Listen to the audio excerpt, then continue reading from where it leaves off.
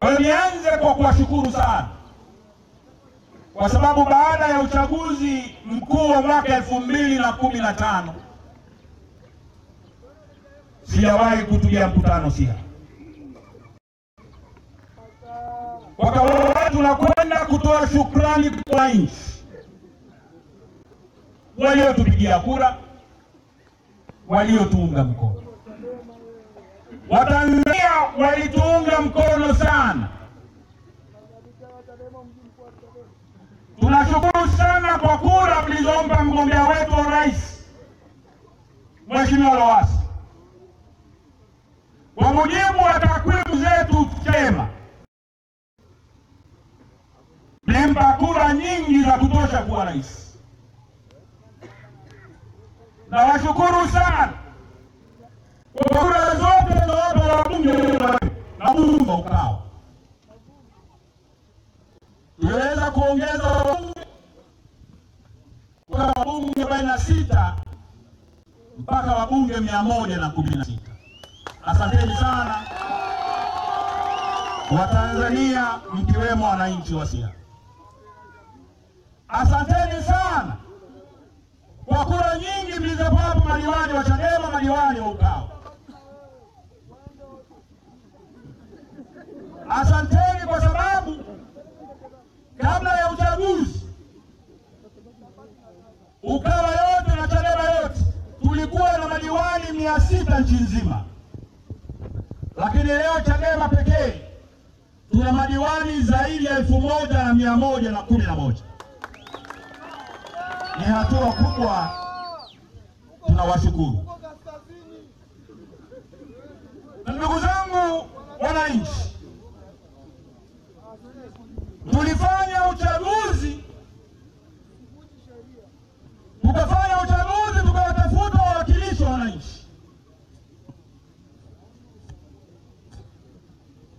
Baada ya kufanya uwakilishi kwenye vyombo mbalimbali vya kutunga sheria vya kufanya maamuzi kuhusu maisha ya watu. Siasa ni maisha, wala siasa sio sanaa. Kwa maana yake,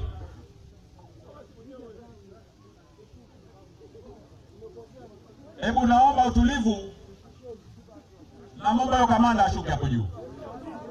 Shuka kamanda, njoka hapa.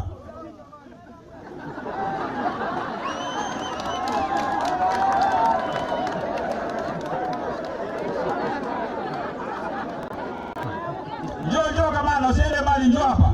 Mwache mlete hapa. Mwache mwache aje akae hapa kamanda wangu.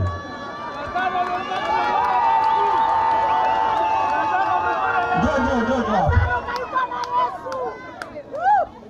Utulize mzuka basi kamanda. Peoples!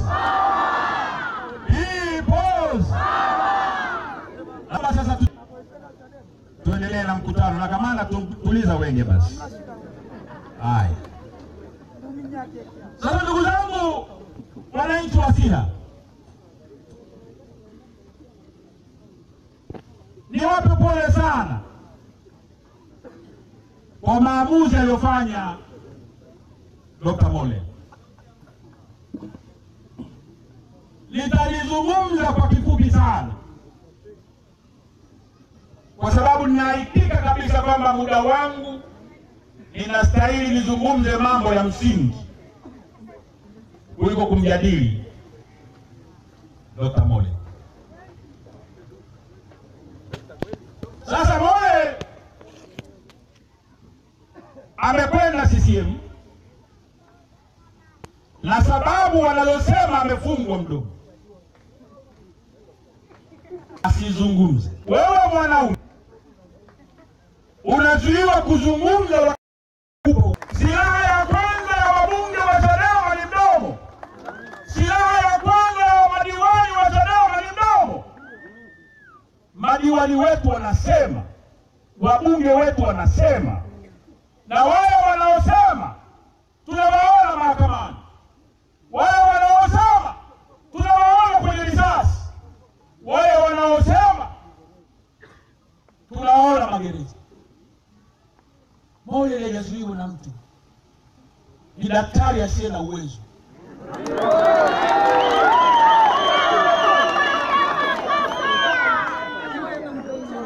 hana uwezo wa kujenga hoja, ni mwanaume anajikombakomba kwa watu wa CCM.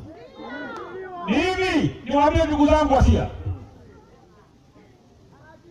tunapokuwa mmechagua viongozi wa wawakilishi, sisi kama chama tunawapima kila mwaka, huyu uchaguzi unaokuja ataturudishia jimbo ama atatunyima jimbo, kwa namna vigezo mbalimbali vya chama vilivyofanyika. Mimi nawaomba wananchi wa Siha mshukuru kwamba mlikuwa mnatuchagulia gunia la misumari bila kujua. Huyu angebaki kwenye nafasi yake ya ubunge kwa miaka mingine mitatu wananchi wa Siha na Chadema mngeichukia.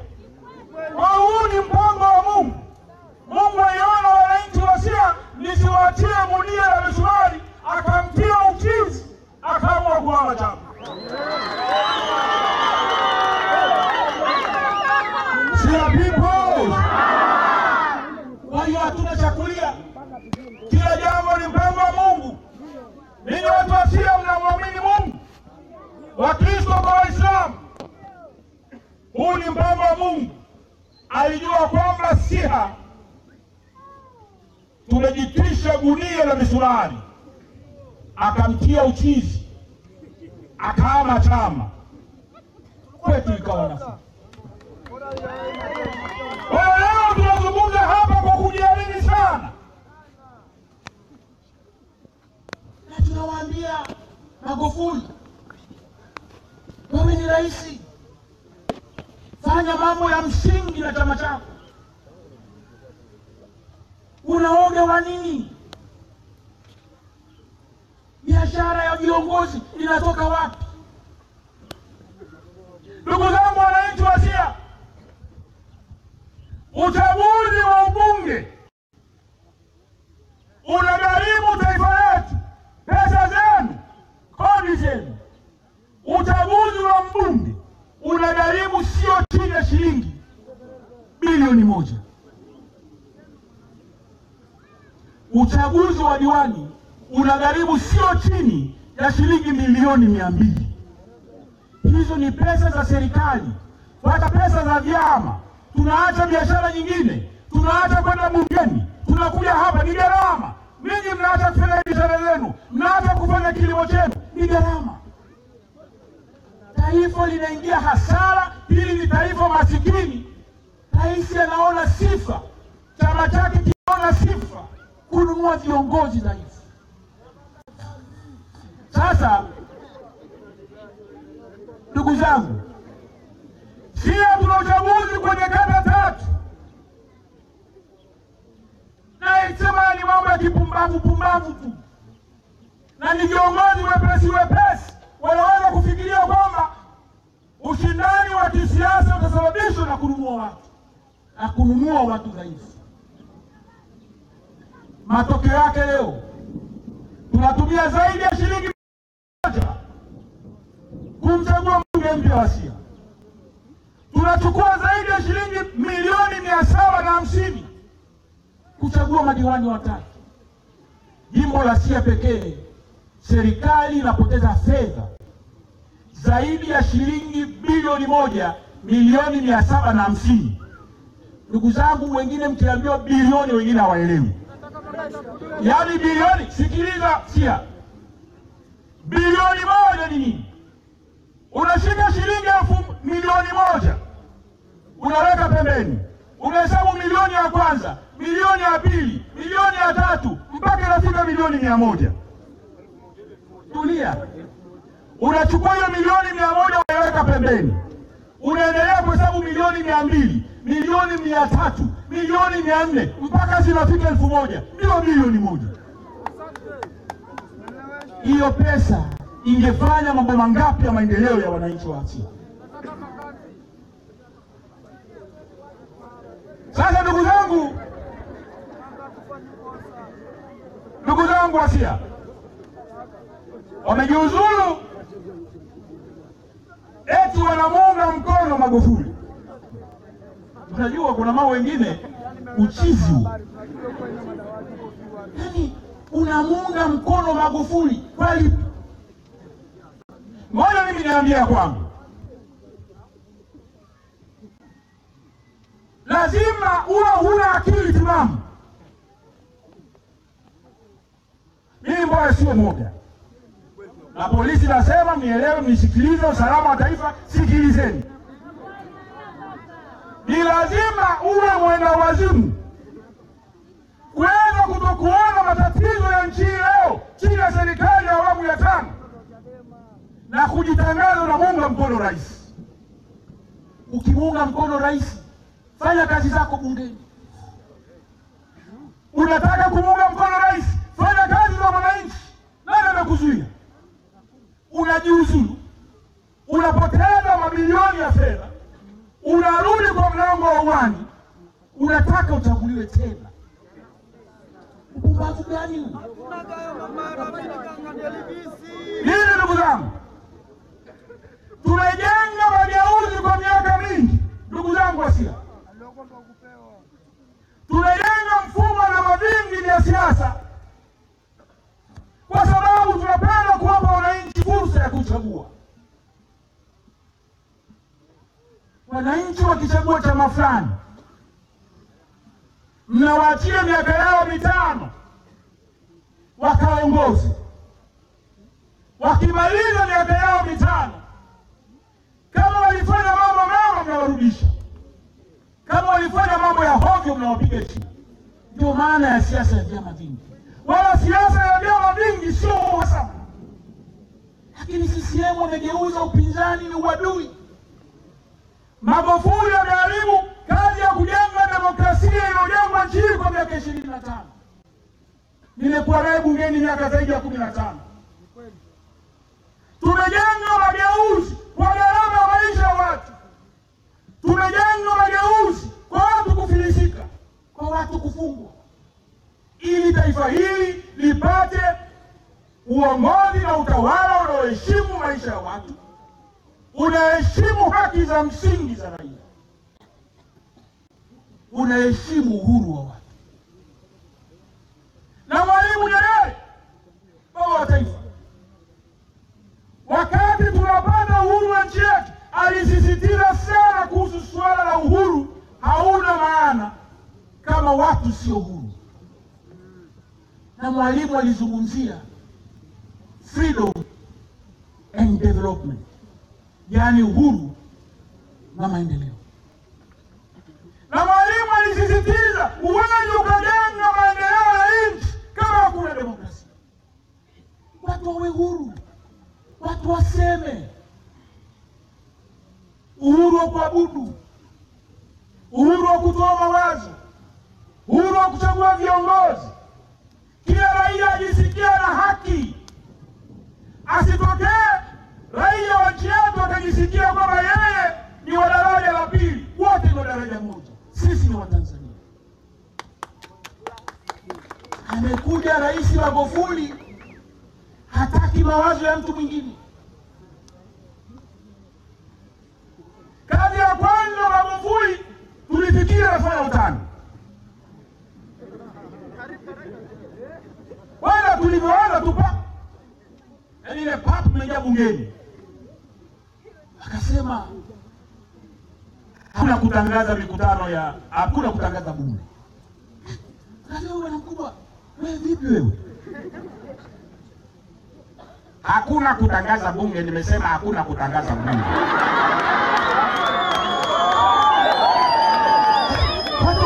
Tukafikiri huyu bwana mkubwa labda anatania kweli, tukaona bunge limegeuka, bunge litangazwa. Ndugu zangu, bunge ni baraza la wananchi. Mnatutuma bungeni, sio kikao cha harusi. Mnatutuma bungeni tukafanya mambo matatu ya msingi. La kwanza kuipitisha matumizi serikali, bajeti ya serikali. Ni kazi ya kwanza ya msingi ya Bunge. Pesa ngapi ziende kilimo? Pesa ngapi zikajenge barabara? Pesa ngapi zikaende kwenye mahospitali? Barabara ipi ijengwe? Maji yapelekwe wapi? Ni kazi ya wabunge, ya kwanza ya msingi. Kazi ya pili ya bunge ni kutunga sheria, na tunapotunga sheria ndani ya bunge ni sheria zinazogusa maisha yenu. Tunatunga sheria za kufunga watu, tunatunga sheria za kunyonga watu, kwamba ukifanya kosa hili unaweza ukanyongwa. Tunapitisha wabunge.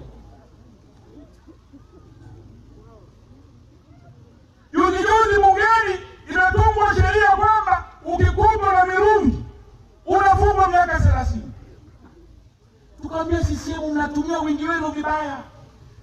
Sheria nyingine tunazotunga zinawaumia wananchi wetu, lakini wabunge ndio wanaotunga sheria. Kazi ya tatu ya bunge ni kuisimamia serikali katika uendeshaji wa nchi. Kwa mbunge yeyote makini, ukiingia bungeni, unajua wajibu wako wa kusimamia bajeti ya serikali, unajua wajibu wako wa kutunga sheria, unajua wajibu wako wa kuisimamia serikali na kuhakikisha wananchi wako katika matukio mbalimbali ya kiuongozi na kiutawala. Huyu mbunge wenu wa zamani anasema alifungwa mdomo. Alifungwa mdomo na nani? Uwezo hana. Sasa rais wetu mnapotutuma bungeni, mnategemea wananchi mwangalie runinga wabunge wanasema nini? Ndio wananchi wanategemea. Wakati wa utawala wa awamu ya nne ya Kikwete, hakuna kipindi kilikuwa kinaangaliwa kuliko kipindi cha bunge. Wome jamani, hata mpira, michezo mikubwa mikubwa ya mpira ilikuwa haiangaliwi kama bunge Manake wananchi wanaangalia maisha yao, na ilisaidia sana kuwafungua wananchi macho. Watanzania wakaelewa, wanawatetea bungeni ni wabunge wa upinzani, wanaosimama bungeni kupandisha mabomu ni wabunge wa upinzani. Tuliomaliza uchaguzi wa elfu mbili na kumi na tano baada ya ile kosa kosa ya CCM, haki ilikuwa tuamue wakakaa huko wakashauriana na bwana eh, hawa jamaa tukiendelea kuachia bunge elfu mbili na ishirini hatutoboi, hatutoboi eh, hakuna kuonyesha bunge, watu tukafanye kazi. Ebo, wewe alikwambia siasa sio kazi ni nani? Kwa hiyo rais akakataza bunge na wananchi wengine wanacheka unakataza wananchi milioni hamsini na tano wasione maisha yao yakijadiliwa. Mnalipa kodi nyingi, serikali ikijenga barabara ni wajibu wake uliotolewa kufanywa, sio fadhila. Mkijengewa madarasa, mkajengewa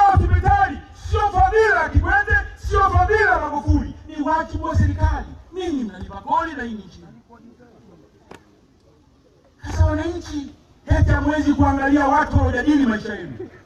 Tunakaa tunatunga sheria za kuwafunga watu wetu, tunajadili sheria za kuendesha maisha yenu na elimu yenu. Freedom wananchi, huru wananchi umefungwa katika nchi. Rais akamaliza hilo, tukafikiri utani, akasema, tukazuiwa kuongea kwenye bunge, tukasema aha, sasa tutakwenda kuzungumza kwa wananchi Tukasema tunaenda kuanzia operation ya nchi nzima Kahama. Kufika Kahama, askari wamezunguka uwanja. Nini? Mbowe wewe tuna mkutano. Kwa nini? Tumepewa amri, hakuna mikutano ya hadhara, hakuna. Tukafikiri utani, Tunawaambia mnatumia sheria gani? Rais wa nchi ameapa kwa kutumia katiba ya nchi. Katiba ya nchi inaruhusu Tanzania ni ya mfumo wa vyama vingi vya siasa na tukatunga sheria namba tano ya mwaka tisini na mbili inayotoa uhuru wa wananchi kuzungumza mahali kokote kwenye mikutano ya hadhara kwa utaratibu uliowekwa na sheria hii. Magufuli hajali sheria, hajali katiba, ubabe na utemi. Hakuna mikutano, na wapolisi polisi wakishaambiwa songa hivyo wanasonga tu, ni kubeba mabomu na bunduki kudhibiti wapinzani, wakati wenyewe nao wamechoka.